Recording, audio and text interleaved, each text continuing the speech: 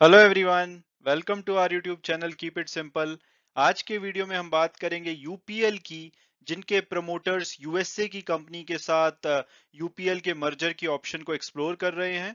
तो इस टॉपिक को हम इस वीडियो में डिटेल में डिस्कस करेंगे और ये भी बात करेंगे कि क्या करंट प्राइस पे आपको यूपीएल का शेयर लेना चाहिए या नहीं। और आगे बढ़ने से पहले अगर आपने अभी तक चैनल को सब्सक्राइब नहीं किया तो प्लीज़ सब्सक्राइब करके हमें मोटिवेट कीजिए। तो सबसे पहले अगर बात की जाए कंपनी ओवरव्यू की तो मुंबई बेस्ड यूपीएल दुनिया की one of the largest agrochemical company है और इसका जो वैल्यूएशन यानी कि मार्केट कैपिटलाइजेशन पचपन हज़ार करोड़ रुपए के आसपास है।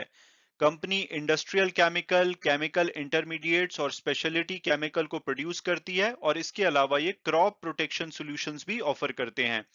2018 में यूपीएल ने आर्यस्ता लाइफ साइंसेस को 4.2 बिलियन यूएस डॉलर में एक्वायर किया था और इस डील के बाद ये one of the largest generic agrochemical firm बन गए थे दुनिया की। और इस टाइम पे अगर यूपीएल की मैनेजमेंट की बात की जाए तो इनके चेयरमैन और फाउंडर हैं ऑक्टोजेनरियन यानी कि 80 से नवासी साल जिनकी एज होती है उनको ऑक्टोजेनरियन बोला जाता है। तो ये रजनीकांत देवीदास श्रॉफ है जो कि कंपनी के चेयरमैन और फाउंडर है। इन्होंने ब्रिटिश प्लांट में मरकरी सॉल्ट को मैन्युफैक्चर करके इस कंपनी को स्टार्ट किया था। और जो इनके बड़े बेटे हैं जय श्रॉफ ये कंपनी के सीईओ हैं और इनके जो छोटे बेटे हैं विक्रम श्रॉफ, वो आज की डेट में कंपनी के बोर्ड में एक मेंबर्स हैं।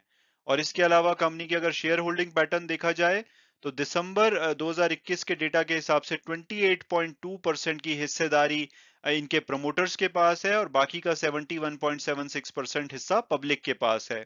और अगर पब्लिक में अगर टॉप शेयर होल्डर की बात की जाए तो एलआईसी के पास 10.47 परसेंट का हिस्सा है और जेपी मॉर्गन चेस के पास 7.94 परसेंट का हिस्सा है।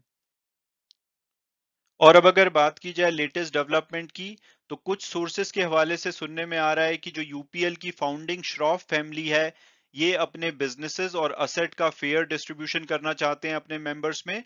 इसके लिए ये दो अमेरिकन फर्म्स के साथ कम से कम मर्जर की ऑप्शन को एक्सप्लोर कर रहे हैं और ये जो दो अमेरिकन कंपनीज़ हैं, ये हैं सी एफ़ इंडस्ट्रीज़ होल्डिंग और एफ़ एम सी कॉर्प और सी एफ़ इंडस्ट्रीज़ होल्डिंग की बात की जाए तो ये हाइड्रोजन और नाइट्रोजन प्रोडक्ट्स के लीडिंग मैन्युफैक्चरर हैं। हालाँकि जब इनसे पूछा गया तो इन्होंने बोला है कि भाई कोई भी मार्केट स्पेकुलेशन या र्यूमर पे ये कमेंट नहीं करते हैं। और फिलाडेल्फिया बेस्ड एफएमसी कॉप की बात की जाए तो ये ग्लोबल एग्रीकल्चरल साइंसेस फर्म है, जो कि ग्रोअर्स को हेल्प करती है फ़ूड फाइबर और फ्यूल प्रोड्यूस करने में। इसके अलावा इनके क्रॉप प्रोटेक्शन सॉल्यूशंस भी ये प्रोवाइड करती है। और इनसे भी जब पूछा गया, इन्होंने भी बोला कि हम र्यूमर्स पे कोई कमेंट नहीं करते हैं। इसके अलावा यूपीएल ने भी अभी तक बोला है कि इनकी कोई बातचीत नहीं चल रही है मर्जर को लेकर के। हालाँकि ये जो दोनों अमेरिकन फर्म्स हैं, ये अपने फुटप्रिंट्स को एक्सपैंड करना चाह रही हैं और तीनों ही कंपनीज़ यानी कि यूपीएल और इन दोनों फर्म्स का, जो ईएसजी e है एनवायरमेंट सोशल और कॉर्पोरेट गवर्नेंस उस पर बहुत ज़्यादा फोकस है। इसके अलावा इन तीनों ही कंपनीज़ का क्लीन एनर्जी और सस्टेनेबिलिटी ओरिएंटेड बिजनेसेस प्रोसेसेस पे भी फोकस है। और जैसा कि श्रॉफ फैमिली, जो कि फाउंडिंग फैमिली है यूपीएल की, ये चाहते हैं कि अपने बिजनेसेस और असेट्स का बंटवारा कर सकें। इसके चलते ये काफ़ी सारी ऑप्शंस को कंसीडर कर रहे हैं बट इस टाइम पे लग रहा है कि इनकी जो प्रायोरिटी है वो मर्जर इनको बेस्ट ऑप्शन लग रही है उसमें, क्योंकि ये इनको जो भी 28.2 परसेंट का इनका स्टेक है प्लस जो भी पब्लिक शेयर होल्डर का स्टेक है, उसके लिए बेस्ट वैल्यू दे सकता है मर्जर और uh, कुछ सोर्सेस ने बताया है कि अगर अभी मर्जर किया गया करंट स्टेज पे तो ये लगभग कंपनी को 15 परसेंट का प्रीमियम दे सकता है जो कि लगभग 8.9 बिलियन होता है यानी कि पचपन हज़ार करोड़ का जो इनका मार्केट कैपिटलाइजेशन है उसके ऊपर इनको 8,900 करोड़ रुपए का प्रीमियम मिल सकता है जो कि इनको और इनके शेयर होल्डर को फ़ायदा पहुंचाएगा। और ऐसा भी सुनने में आ रहा है कि जो यूपीएल है उन्होंने एवर कोर ग्रुप एलएलसी जो कि इन्वेस्टमेंट बैंक है इनको हायर किया है ताकि ये प्रमोटर्स को बेस्ट ऑप्शन के बारे में सलाह दे सकें। इसके अलावा बता सकें कि अगर मर्जर डील की जाती है तो उससे क्या इनके प्रमोटर्स और पब्लिक शेयर होल्डर्स को फ़ायदा होगा कि नहीं होगा? सिमिलरली गोल्डमैन सैक्स को हायर किया गया है दोनों अमेरिकन फर्म के द्वारा ताकि वो इंडिया में जो मर्जर और टेक ओवर की ऑप्शन को एक्सप्लोर कर सकें। हालाँकि गोल्डमैन सैक्स ने भी इसके ऊपर कोई भी कमेंट करने से अभी के लिए मना किया है। और अगर ये मर्जर हो जाता है तो जो शॉर्ट लिस्टेड एंटिटी है, यानी कि चाहे वो सी एफ़ इंडस्ट्रीज़ हो या एफ़ हो, वो उम्मीद है कि मेजोरिटी स्टेक ओन करेगी मर्ज एंटिटी जो भी इससे निकल के आएगी, और जो श्रॉफ फैमिली है, उसके पास माइनॉरिटी स्टेक रह जाएगा। और ये अगर तिरसठ हज़ार करोड़ रुपए में डील होती है तो ये लार्जेस्ट डील होगी एग्रोकेमिकल स्पेस में पूरे एशिया में।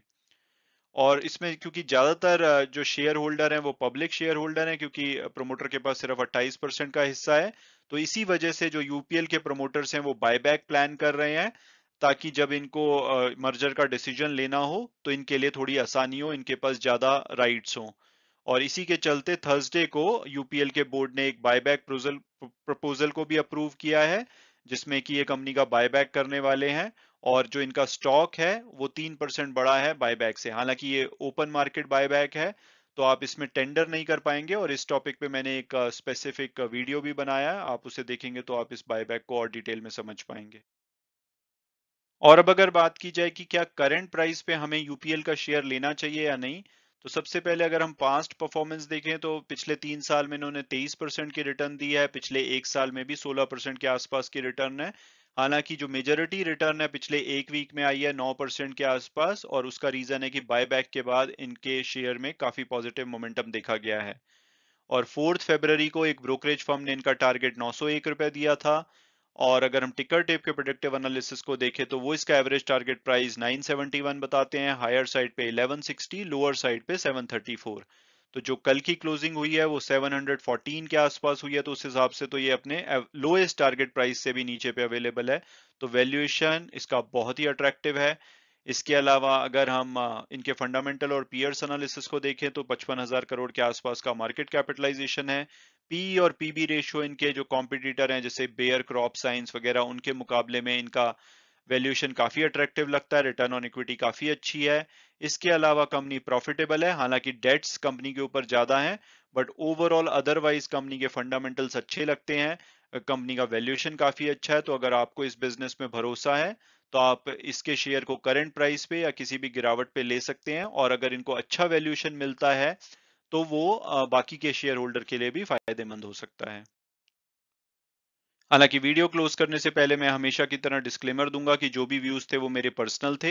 अगर आप यूपीएल के शेयर में इन्वेस्ट करना चाहते हैं तो अपने फाइनेंशियल एडवाइजर से बात कीजिए या अपनी फर्दर रिसर्च कीजिए, उसके बाद ही आप डिसीज़न लीजिए। Thank so much for watching the video and God bless you all